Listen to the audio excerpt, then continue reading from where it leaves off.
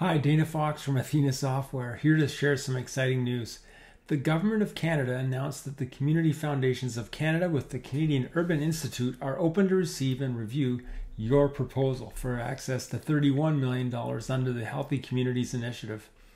I attended the launch webinar February 9th and reviewed the applicant guide, which is focused on the increased recognition of social and digital infrastructure that contributes to healthy community outcomes. The applicant guide makes it easy to understand if your organization can apply. The projects eligible for funding need to serve the public or a community disproportionately impacted by COVID 19 and fall within three Healthy Community Initiative themes, one of them being community projects that use innovative data and technology solutions to connect people and support healthy communities. Community projects that use digital technologies and solutions to encourage citizen engagement, use open data, online platforms, or physical digital devices for public event benefit. All budget items must be project related and expenses occur between April 1, 2020 and June 30th, 2022. Details on how anticipated expenses are outlined in the budget and are included in the applicant guide. You need to demonstrate community engagement, planned continued engagement with the community to receive feedback on the project may also demonstrate the role of the community in delivering the project. Your team can also collaborate on your equity approach and principles for the project and how it relates to community outreach and feedback. All projects focusing on the theme of digital solutions and any project that handles public data should demonstrate best practices, digital design, and responsible data management. Good news for you and your organization is that Athena software meets the needs for inclusive design and data management.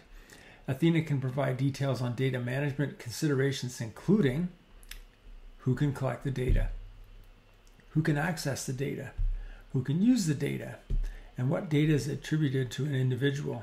Of course, there's privacy or PIPEDA, and then there's minimum funding. Minimum $5,000, maximum funding is $250,000. All these budget items must be project related and incurred between April 1st, 2020 to June 30th, 2022. The government provided a budget template in Excel, and we created a proposal for the Canadian Healthy Community Initiative and integrated it with the budget template to help give you a head start on filling out that form. Let me know if you're interested in the proposal and budget. We'll send you a copy of the forms to begin that process. The first round of funding opened February the 9th, 2021, and will close March the 9th, 2021, 5 p.m. Pacific time. So, reviewing committees begin decision making March the 10th, and all applicants will receive results by April the 30th, 2021. The second round of funding opens May the 14th, 2021, 9 o'clock Atlantic time, and it closes June the 25th, 2021 at 5 p.m. Pacific time. Applicants that did not receive funding in round one can apply for funding in round two, and review committees begin making decisions June the 26th. All applicants will receive results by August the 13th, 2021.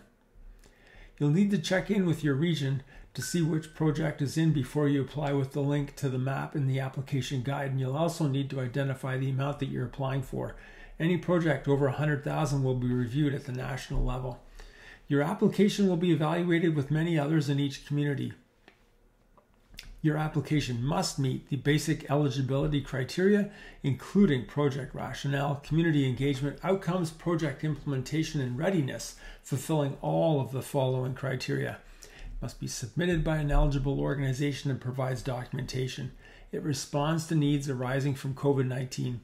It creates and adapts public spaces or programming and services for public spaces in the public interest.